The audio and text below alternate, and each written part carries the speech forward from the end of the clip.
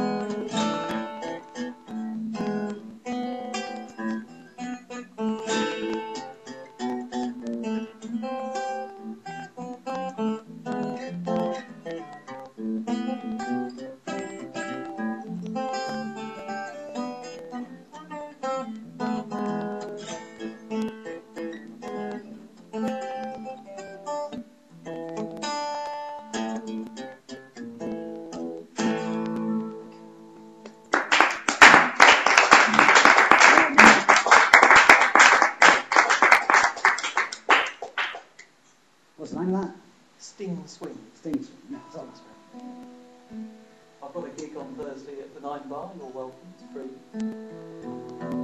I'm gonna, this is one of my new tunes. It hasn't quite got a title. It hasn't quite got a title. But it's inspired by a, um, a stag I saw once. I live in Bushy Park in West London. I saw a stag. And it was running along, and it just fell into the river. The stag. A stag, a big, big stag, but it's big stags in the park. And it fell. It just fell down. It just fell into the river. You know, didn't see. And I never really liked them anyway.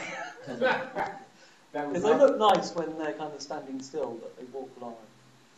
They walk into things, they don't know where they're going. That's They don't have to. They're huge animals. Yeah. They do what they want. But they cross the road and they just don't, don't know where they're going. Okay. Yeah.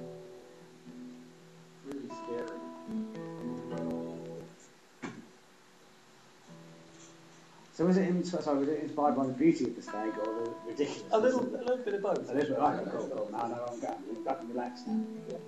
uh, go whichever way I want to go. Like, like Naomi Campbell tripping and falling into a pub. Yeah, exactly. Yeah. yeah, yeah.